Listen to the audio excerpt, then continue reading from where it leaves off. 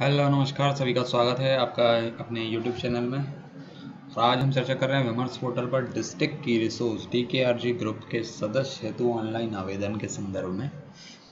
तो बहुत ही महत्वपूर्ण सूचना है और बहुत ही खुशखबरी की सूचना है कि डिस्ट्रिक्ट की रिसोर्स पर्सन के रूप में आप सदस्य हेतु आवेदन कर सकते हैं और वो भी विमर्श पोर्टल पर। तो चलिए आइए देखते हैं क्या होता है डिस्ट्रिक्ट की resource D K R G group में सदस्य हेतु आवेदन। तो जिला में मूल्यांकन गतिविधि हेतु डिस्ट्रिक्ट की resource D K R G group का गठन किया जा रहा है। प्रत्येक ज़िले में इसके दो सदस्य होंगे और जिनका चयन एस आर जी में से किया जाना है। समय समय पर स्टेट असेसमेंट सेल मतलब लोक शिक्षण संचालनालय द्वारा कराए जाने वाले मूल्यांकनों को ज़िले में जिला शिक्षा अधिकारी के नेतृत्व में क्रियान्वित करने में इनकी अहम भूमिका होगी। शासकीय सभा में कार्यरत व्याख्याता, उच्च माध्यमिक शिक्षक, वरिष्ठ अध्यापक जो पूर्व से एसआरजी के रूप में कार्यरत हैं, एवं डी के आरजी का कार्य करने हेतु इच्छुक हैं, वे नीचे दिए गए प्रपत्र में दिनांक 18 सात और 18 जुलाई 2021 तक आवेदन कर सकते हैं। सब्जेक्ट एक्सपर्ट एवं असेसमेंट डिज़ाइन एक्सपर्ट के रूप में पूर्व से चयनित लोक सेवकों को डी के आर जी के लिए आवेदन करने की पात्रता नहीं होगी। जानकारी एक बार लॉक होने की स्थिति में दोबारा अनलॉक नहीं किया जाएगा। तो इस प्रकार से आप डी के आर जी में आवेदन कर सकते हैं। और जो सब्जेक्ट एक्सपर्ट हैं और A D assistant design expert जो पहले से हैं, वो डी के आर जी में आवेदन नहीं कर सकते हैं। तो इस बात का ध्यान रखा जाएगा। तो चलिए आइए देखते हैं। विमर्श पोर्टल में ये कहाँ पे आपको ऑनलाइन आवेदन करने की सुविधा मिलेगी। तो सीधे हम अपने इसमें जाते हैं गूगल क्रोम पे। और यहाँ पे मैंने Vimarsh dot M P dot G O V dot in खोला।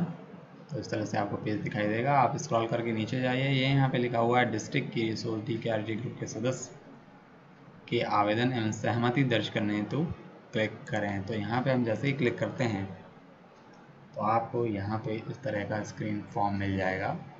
यहाँ पे लिखा हुआ है ज़ीरो मूल्यांकन गतिविधि हेतु एक डिस्ट्रिक्ट की रिसोर्स टी के आर जी ग्रुप में कार्य करने हेतु सहमति पत्रक। तो सबसे पहले आपको छः अंकों का यूनिक यूनिक आईडी दर्ज करना है आपका। एसआरजी का नाम, आपका नाम, जिला, जो आप ज़िले से, जिस ज़िले से हैं वो जिला सेलेक्ट करिए।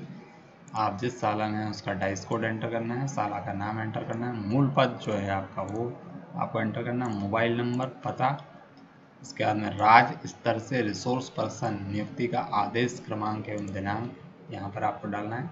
शैक्षणिक योग्यता आपकी क्या है? ये आप यहाँ पर सेलेक्ट करना है ड्रॉप डाउन में दिया हुआ है। यदि आप कंप्यूटर पर कार्य कर सकते हैं तो उसका भी विवरण देना है हाँ या नहीं। स्नातकोत्तर का विषय आपको देना है। विषय जिसका अध्यापन कार्य कराते हैं आप, सालाना, उसका विषय देना है आपको। और डिस्ट्रिक्ट रिसोर्स ग्रुप हेतु सहमत या असहमत। ये आपको देना है कि आप डिस्ट्रिक्ट रिसोर्स ग्रुप में जुड़ना चाह रहे हैं, उसके लिए सहमत हैं या असहमत। और यदि सहमत हैं तो उसका कारण, और यदि असहमत हैं तो उसका कारण आपको लिखना है, और उसके बाद में सबमिट बटन पर आपको क्लिक कर देना है। तो इस तरह से आप ऑनलाइन आवेदन कर सकते हैं, और इसकी अंतिम तिथि 18 जुलाई है। तो इसका आप ध्यान रखें 18 जुलाई के पहले आप इसे भर दें। तो इसी तरह की खास और नई जानकारी के लिए चैनल से जुड़े रहें, चैनल को सब्सक्राइब करें, वीडियो को लाइक करें, वीडियो को शेयर भी करें। अगली जानकारी तब तक के लिए इंतज़ार करें। ओके, धन्यवाद।